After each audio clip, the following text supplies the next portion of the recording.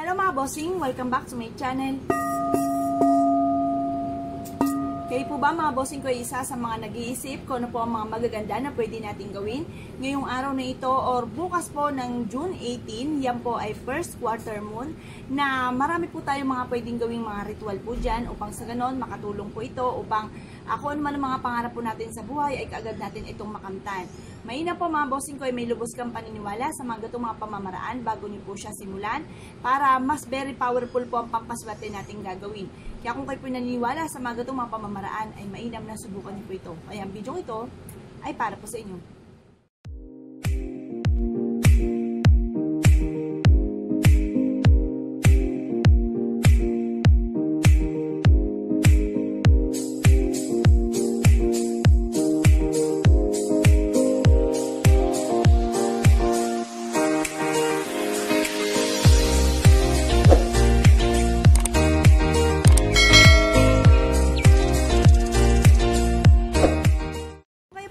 Ko ay isa sa mga nag-iisip ngayong araw na ito na pwedeng gawin upang sa ganon mawala na mga kamalasan yung pinagdadaanan at matupad agad ang inyo po mga kahilingan. Masasabi ko lamang mga bossing, lagi niyo po tatandaan, kailangan gustong gusto niyo yung ginagawa ninyo at kayo naniniwala na mababago ang takbo ng inyong pamumuhay. Magiging sangka po ito upang sa ganon tuloy-tuloy ang pasok po ng swerte. Pero syempre, ako ang gusto niyong swerte tungkol sa usapin ng pera, kailangan ay sisi, sisipagan po natin, dagdagan ang sipag at syaga mga bossing ha. Huwag po kayong gagawa ng gagawa ng mga pampaswerte at kayo po magpapaupo-upo lamang. Hindi po darating ang nangkusa sa inyo or hindi talaga kukusa, kusang lalapit sa inyo ang pera. Yan po ay pinagtatrabahuhan mga bossing ko. Kaya po tayo gagawa ng mga pampaswerte para tuloy-tuloy. Ay yung mga balakid na maaaring ma mahadlangan ang swerte po natin, ay uh, kumbaga meron tayong mga pangontra at meron din tayong mabilis na pang-attract na swerte sa pera.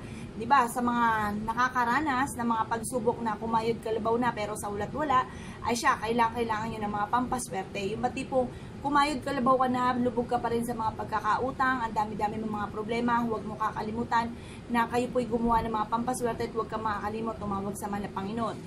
Bukas po mga bossing ko ng June 18, yan po ay first quarter moon na marami tayong pwedeng gawin upang sa ganon, tuloy-tuloy po ang pasok po sa atin ng swerte. Ano po ang kailangan natin mga bossing? Kailangan po natin ng sapatos na lagi nating sinusuot. At pagkatapos mga bossing, kailangan natin ng isang butil na bawang lamang. Kayo po'y manalangin na mula sa inyong pong puso na sa pamamagitan ng pampaswerteng ito ay mababago ang takbo ng inyong pamumuhay. Iaadya kayo kung saan lagi kayo suswertihin at kung ano may mga pangarap nyo pinag uh, kung ano man po yung mga pangarap po ninyo ay kaagad nyo itong makakamtan at yung mga pinagdadaanan ninyong problema ay kaagad nyo itong masolusyonan. Iadya kayo kung saan lagi kayo suswertihin. Pagkatapos ito, tapos yung manalangin na mula sa puso, ilagay nyo lamang po siya dito. Ito pa mga bossing ko, i-overnight nyo po dyan sa ating first quarter moon bukas or kaya ngayong araw na ito na 6.37 hanggang alas 8 ng umaga, ibilad nyo po ito sa sinag po ng araw. Pagkatapos, hayaan nyo lang na may bawang po siya dito. Tapos kung kayo'y aalis, utin nyo lamang po siya mga bossing. Uh, ito po, ang dulot po nito ay swerte. Pero syempre, sa first quarter moon sa gabi, pag in-overnight nyo po siya, iyaano nyo po siya na hindi siya mawawala. Baka pagising ninyo, wala na kayong sapatos. Pwede rin naman po mga bossing kapag sa silangan, ang silangan na bintana ninyo, hawiin nyo lamang po ang inyong pong kortina, okay na po yun. Basta importante, dun po siya nakalagay sa silangan mga bossing ng alas 7 ng gabi hanggang alas 8 ng gabi sa first quarter moon.